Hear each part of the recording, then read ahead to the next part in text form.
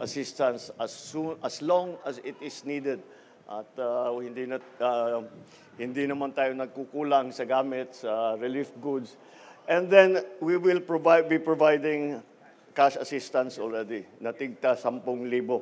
Ah, when will we start? Oh, by uh, ano ngayon, Bernes. Oh, Monday, Monday yung uh, cash assistance na ibibigay na natin. Kasi experience namin ganun eh. Ah, kahit na may relief goods, bawat pamilya may sariling pangangailangan na hindi kasama sa relief goods. Halimbawa, yung ah, papakain sa bata o gamot dun sa yung mga gamot o yung mga ganyang klaseng bagay. Ah, malaking tulong ito sa amin na makatatanggap ng biyaya.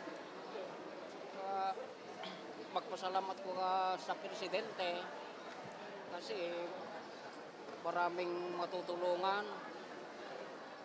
Maraming maraming salamat sa tulong na binigay biyaya.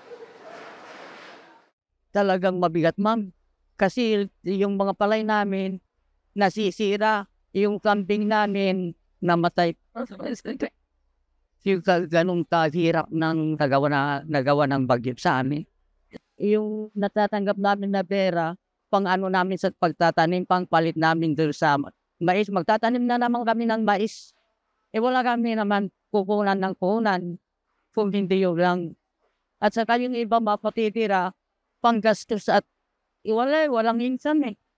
Lahat ng tulong na binigay niya, nagpapasalamat kami kay Ferdinand Marcos.